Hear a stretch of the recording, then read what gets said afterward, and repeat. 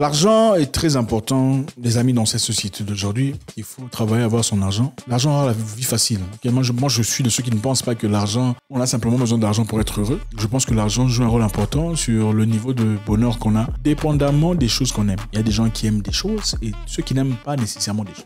Il y a des gens qui doivent acheter une grosse télévision comme ça, deux mois plus tard acheter une comme ça, trois mois plus tard acheter une comme ça, quand ils sont comme s'ils sont en compétition avec qui que ce soit. Il y a des gens qui peuvent vivre avec une petite télé comme ça du début à la fin. Aucun problème. J'ai vu des gens comme ça, avec qui j'ai vécu. Ils ont beaucoup d'argent, mais ils ont une petite télé comme ça. Mais ils ont beaucoup d'argent. Quand tu vois les fichiers du, quand j'ai vu le fichier du père, parce qu'il était euh, en difficulté de santé, son fils n'était pas là. C'est moi qu'on a appelé pour. J'étais ébloui. Mais ils ont une petite télévision comme ça. Donc l'argent n'est pas tout. L'argent, ça dépend de, la cupidité de quelqu'un. Greed. Certaines personnes aiment des grosses voitures, des voyages à Dubaï, des bijoux, tout ça. Et d'autres personnes qui sont simples, chemise normale, cravate à manger.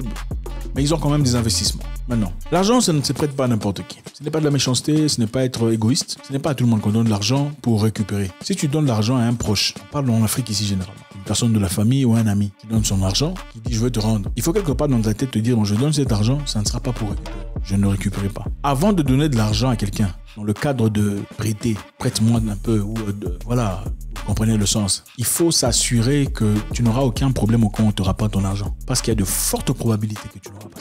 Quand on te dit dans 7 jours, combien de fois vous avez reçu votre argent en 7 jours? Si vous avez déjà reçu votre argent en 7 jours, écrivez. La plupart, à 90% des personnes ici, en tout cas si pas plus, quand on vous dit 7 jours, ce n'est jamais 7 jours. C'est après 7 jours, c'est à vous d'appeler, pas Ce n'est jamais, oh non, euh, vous faites, merci, allô, comment tu vas? J'ai ton argent, viens chercher. C'est- très, très, très rare. Après 7 ou 8 jours, c'est toi qui dois appeler. Salut, comment tu vas? Oh, excuse-moi, j'avais oublié. Au fait, j'attends aujourd'hui ou demain. C'est toujours comme ça. Aujourd'hui ou demain, des fois, ça peut arriver que ça n'arrive jamais. Si vous avez de l'argent, c'est tout ce que vous avez. C'est pour votre projet d'avenir de business. Faut pas donner cet argent. Parce que vous serez déçu ça deviendra une affaire, une histoire d'émotion. Oh, toi, pourquoi tu peux faire ça? Ah, moi aussi, j'étais aidé dans le passé. C'est toujours comme ça. Ou moi aussi, j'étais aidé dans le passé. Alors, pour éviter ce genre d'histoire, faut pas donner votre histoire. Si tu vas donner, sois assuré que ce que je donne ici, même si ça ne rentre pas, ça ne me posera aucun problème.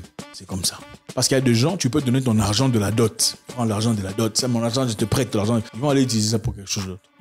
Oui, il y a des gens qui sont comme ça. Et je veux te rendre ça. Donc, il faut faire très attention dans la vie.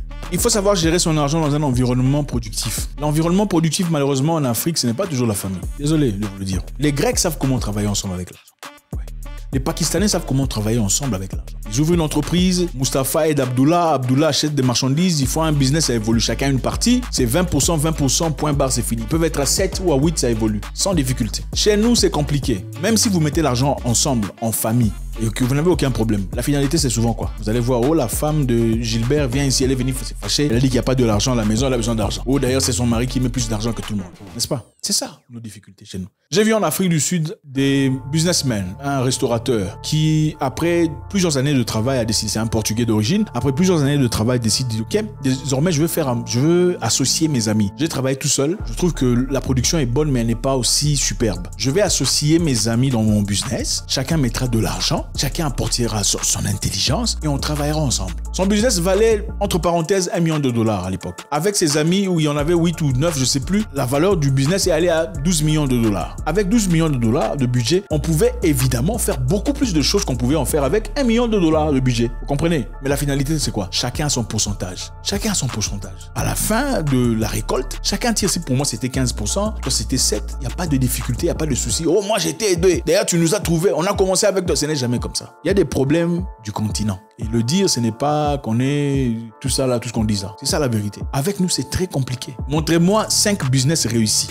Nous avec nous. 5 business réussis des partenaires seulement de nous. Un business extraordinaire. 5 business réussis des partenaires de nous et nous. Ils sont à plus de 7. Ils se sont mis ensemble. Ils ont fait un business qui vaut 1 milliard de, 1 milliard de dollars. C'est difficile. Pourquoi on a cette difficulté de fonctionner avec l'argent? Chacun veut compter. Lui, il a mis combien? Il a retiré combien? Et pourquoi il se comporte comme si c'est lui qui est le, chef de tout le monde? Ce sont des choses que, que l'on comprend très difficilement. Mais évidemment, ce n'est pas pour nous décourager. L'objectif n'est pas de nous décourager de travailler avec nous. L'objectif number one, c'est de nous dire on ne prête pas de l'argent à un membre de famille, à un pote ou à un cousin en Afrique espérant récupérer cet argent. Dans votre tête, dites-vous d'abord cet argent que je donne. Si ça ne revient pas, ça ne me posera aucun problème. Là, donnez cet argent. Si ça ne vous posera aucun problème, c'est bon. Si c'est quelqu'un de fiable, évidemment, il y en a, en tout cas 0, quelque chose, c'est vrai qu'il y en a. D'accord. Mais si vous savez que c'est tout ce que vous avez, évitez les problèmes. Évitez de faire des promesses, évitez de donner parce que ça finira toujours en, difficulté. Vous êtes avec des gens, même s'ils sont membres de votre famille, vous faites vos constructions et vous sentez qu'ils n'ont pas la maturité financière, il ne faut pas les impliquer. Sinon, ça deviendra une histoire d'émotion. Oh, je suis ton grand frère. C'est toujours comme ça. Tu veux acheter des histoires, tu veux faire un business, tu sens que les gens autour de toi, ils sont bien aimés, mais ils n'ont pas la maturité financière. Il ne faut pas les impliquer. Cherchez même un voisin, cherchez quelqu'un de loin. D'ailleurs, avec une personne de loin, croyez-moi, ça sera beaucoup plus compliqué pour qu'elle te vole ou qu'elle te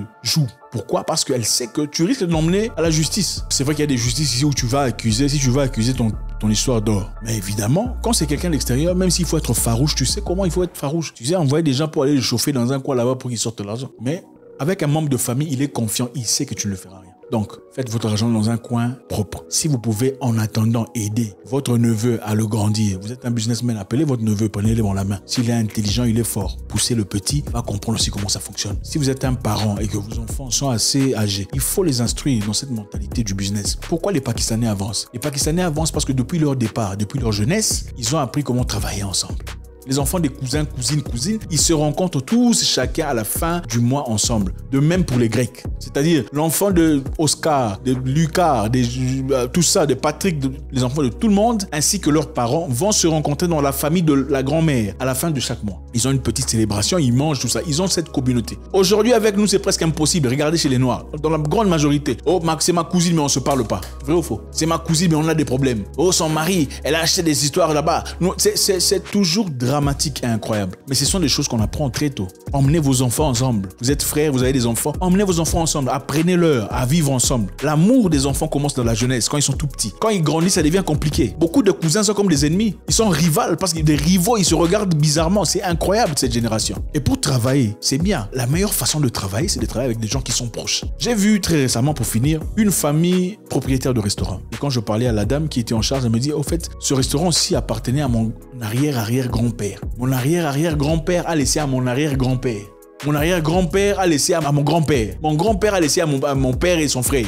Je travaille ici avec mon cousin. Le restaurant, c'est un, beau restaurant. C'était pas seulement le seul. Au fur et à mesure, ils ont pu ouvrir d'autres restaurants. C'est devenu un franchise reconnu et connu et respecté. Pourquoi? Parce qu'ils ont appris à travailler ensemble. Il n'y a pas de méchanceté, des isanis. Ouais, elle porte des bijoux mieux que moi. Je sais que mon mari. Non, il n'y a pas ces histoires-là. Encore une fois. L'argent est un élément très important pour le bonheur. En tout cas, ça facilite beaucoup de choses. Ça te permet d'aller acheter ce que tu veux, faire le voyage, la bonne santé, le bien-être sa généralité. En tout cas, ça dépend aussi de ce qu'on désire individuellement. Mais l'argent, c'est une science. Ce n'est pas par miracle. Même par miracle, quand tu pries et que Dieu te donne de l'argent, si tu n'as pas la science, tu perds tout ce que tu Tu peux avoir un million de dollars. Si tu n'as pas la science, tu perds cet argent. Il y a un vin en Afrique du Sud que beaucoup boivent ici sans, sans, nécessairement s'en rendre compte. Fokazen Red Wine. Il y a Fokazen Red Wine, White Wine. C'est une rosée. C'est une très grande entreprise en Afrique du Sud. Fokazen, ça veut dire quoi?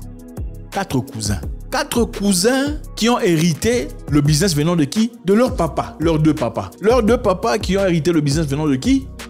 Vous comprenez? C'est une entreprise qui existe depuis très longtemps. Mais aujourd'hui, dans la grande majorité des pays africains, en tout cas surtout l'Afrique de l'Est, ils consomment Fokazen. L'entreprise continue. Ces Fokazen vont aussi laisser à leurs enfants. Comment ils ont fait? Comment ils font chez eux? Comment ils font pour évoluer? Comment ils font pour travailler ensemble sans difficulté? Chacun connaît ses limites. Il n'y a pas de greed. Greed, c'est quoi? Il n'y a pas de d'envie, hein? Avarisme. Le besoin, c'est moi qui dois être. Donc tout le monde doit savoir que c'est moi qui suis le chef. Nous avons tous, nous sommes tous contributeurs, mais c'est moi le chef. Ça, ce sont des histoires qu'on ne retrouve que dans cette communauté.